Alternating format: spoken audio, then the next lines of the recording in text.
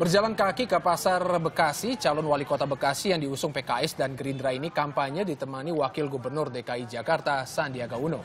Iya, para pedagang dan pengunjung pasar antusias sambut keduanya. Bahkan banyak yang meminta foto bersama Sandiaga Uno.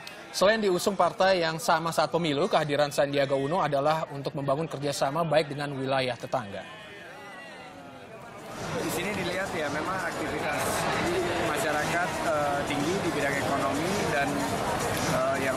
perlu kita perhatikan bagaimana UKM-UKM itu bisa naik kelas.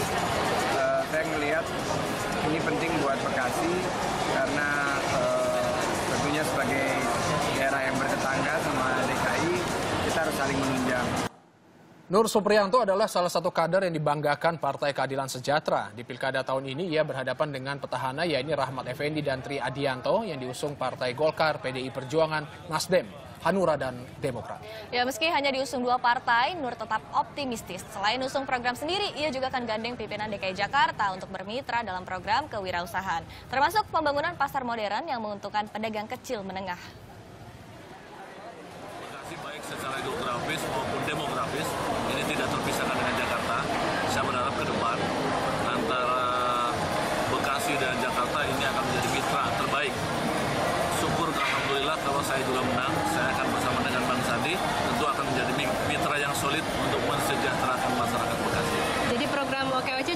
akan ya? Insya Allah itu terbaik.